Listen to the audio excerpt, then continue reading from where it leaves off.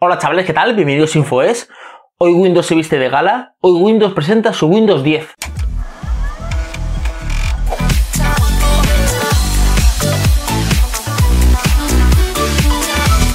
Sí, ya está aquí, ya está el esperado Windows 10, ya le tenemos aquí Hoy día 29 de agosto se ha presentado oficialmente Windows 10 de escritorio. Bueno, han presentado como 7 Windows. Windows Mobile, Windows Enterprise, Windows no sé qué. Como 7 8 Windows, pero no vamos a centrar en el Windows 10, que es el de escritorio, porque el de Mobile hasta septiembre no se va a presentar oficialmente. Vamos a decir, lo primero, quién se lo puede instalar, los requisitos y luego todas las pautas que tiene. Vamos a ver quién se puede instalar este sistema, el Windows 10. Prácticamente se puede instalar cualquier persona, pero hay como tres formas de instalárselo. Bueno, una está la versión Insider, que es la que tengo yo, que es la versión de desarrollador. Si tú eres desarrollador, tienes la versión Insider, que es la que tengo yo, que llevo como dos meses ya probándola y se ha hecho la oficial. Luego está, si tú tienes Windows 7, Windows 8, Windows 8.1 oficial, quiere decir que tú te has comprado una versión oficial o te has comprado un ordenador que tiene esa versión, hasta el día 29 de agosto de 2016 te puede instalar totalmente gratuito. Te la instalas, te la descargas, te vendrá un botoncito donde la descargarás y te la descargas. Ocupa como 2 gigas o 3 gigas y se instala en unos 20 o 40 minutos el sistema. Y luego hay otra forma, si eres un piratilla, si la tienes en la versión 7, 8, 8.1 en pirata, también te puedes instalar la última versión Windows 10 pero lo único que te saldrá una marquita de agua donde te pondrá, por ejemplo, eh, compra la versión, no tienes una versión original con una pequeña marca de agua y tampoco te vendrán las actualizaciones, estas tipo que pone KB, no sé qué, que son de seguridad. Entonces tendrás Windows 10, pero un poquito menos seguro porque te puede entrar por cualquier intrusión porque no tiene la medida de seguridad, pero... Ven, ven, ven. Un secreto, ahora que no nos escucha lo de Microsoft. Te voy a contar un secreto. Si eres un piratilla, de estos que tienes el Windows pirata, no pasa nada. Te descargas la versión de Windows 10, te saldrá la marca de agua, esa ni caso, y no te vendrán las actualizaciones que te tienen que venir, pero ahora que no se entera lo de Microsoft. Te instalas un antivirus, eso sí, un antivirus bueno, uno de pago, un Kaspersky, uno de estos, y problema solucionado. que no se entere nadie del secreto que te he contado, ¿eh? Bueno, ahora vayamos con los requisitos del sistema, la verdad que son mínimos. Cualquier procesador, un dual core que vaya a un GHz, te vale tener un giga o 2 gigas de RAM, bueno, mejor tener 2 gigas de RAM, pero si tienes uno te vale también. Un disco duro de 16 o 32 gigas, prácticamente todo el mundo tiene unos 400, 500 gigabytes de disco duro o más, pero con tener 16 o 32 gigas libres te puedes instalar directamente el sistema operativo. Una tarjeta gráfica que sea compatible con DirectX 9 a partir de DirectX 9 y te funcionaría perfectamente. Y una pantalla con la resolución mínima de 1024 x 600. A partir de ahí, todo lo que sea más de ahí perfectamente. Y si tienes estas especificaciones también lo puedes instalar. Ahora vamos al meollo, a lo que tiene dentro. Bueno, voy a hablar primero de Edge. Se ha acabado Internet Explorer, ya no hay Internet Explorer. Bueno, sí que está todavía ahí, pero bueno, el nuevo navegador es eh, Microsoft Edge, que mantiene la E para que la gente no diga dónde el navegador, la gente que está acostumbrada a ver la E de Explorer, le pinche directamente y tiene pues, varias cosas buenas, como por ejemplo un modo de lectura que te cuadra muy bien el artículo para para leerlo, puedes poner una nota, puedes pinchar un sitio y decir, bueno, aquí voy a poner una nota de texto escribiendo alguna cosa, puedes subrayar, puedes marcar, puedes reseñar una parte de un artículo o de una fotografía, puedes hacer como un trocito, copiarlo, un trozo de tipo pantallazo, pero un solo un trozo de lo que estés viendo para luego copiarlo en un portapapeles. La verdad es que está bastante bien. Y ha sido un lavado de cara a lo que era el Explorer que estaba ya casi en desuso.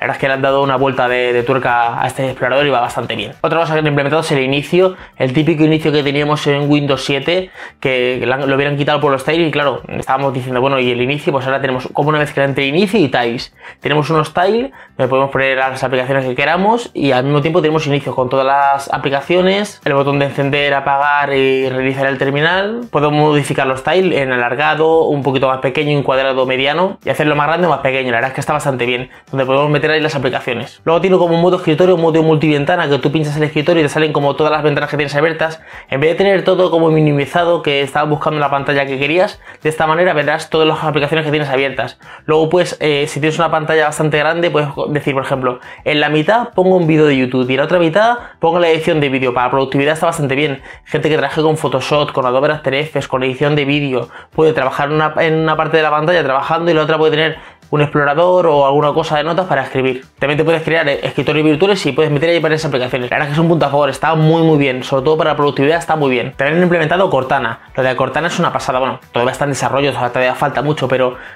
Recordatorios, recuérdame hacer tal cosa, por favor, escríbeme un correo, ábreme el mail, ábreme la cuota de Spotify, Cosas que hacíamos directamente con el ratón y escribiendo, hacerlas directamente. Hablando, la verdad es que es una pasada. Al principio te es un poco raro, tú, pero ¿qué hago yo hablando en un ordenador? Y hay gente aquí en casa y me ve y dice, ¿pero con quién hablas?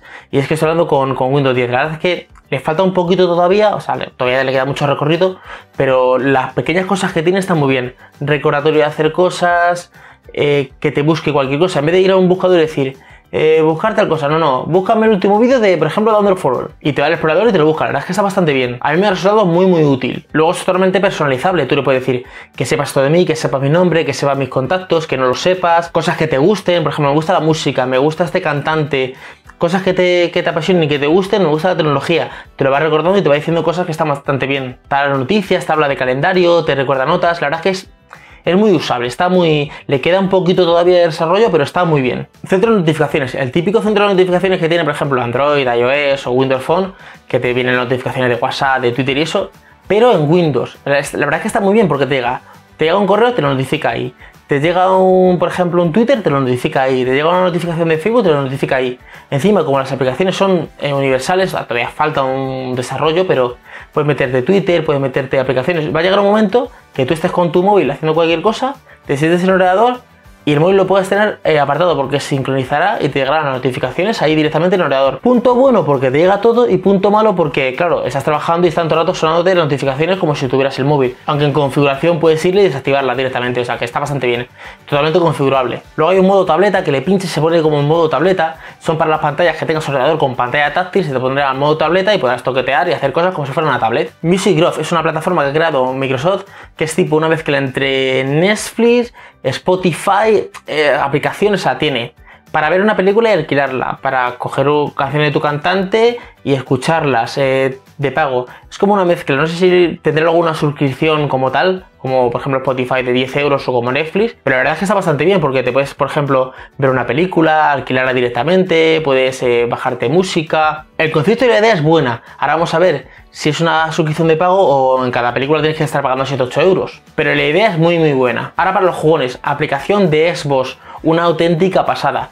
Te registras con tu jugador y una partida que estás echando en la Xbox One en tu salón, te llega tu padre o tu hermano o tu tío y te dice, eh, quítate la televisión que voy a ver yo ahora el partido de fútbol.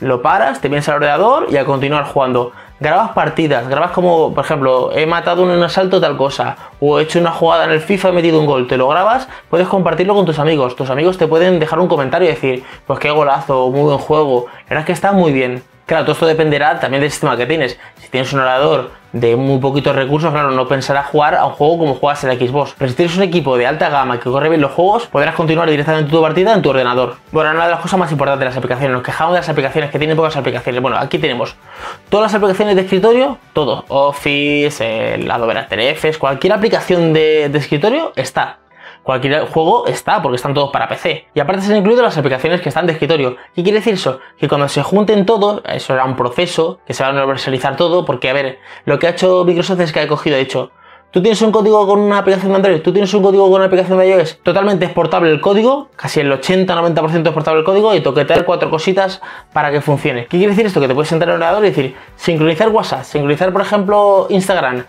Twitter. Ya no es ir del escritorio a abrirte la aplicación de Twitter o abrirte la aplicación de Instagram, no, no, directamente. Eh, será una aplicación que funcionará en tu escritorio, te llegarán las notificaciones y será como tener el móvil pero en el escritorio. La verdad es que está bastante bien. Y ahora quiero detenerme en dos puntos. Uno, que Windows tiene compatibilidad con cualquier hardware. Cualquier cámara que te compres antigua, fíjate, tienen hardware desde el Windows 95, o sea, tienen compatibilidad con cualquier periférico, que eso está muy bien. Y luego juegos. Cualquier juego bueno, bueno, bueno, bueno siempre sale para PC.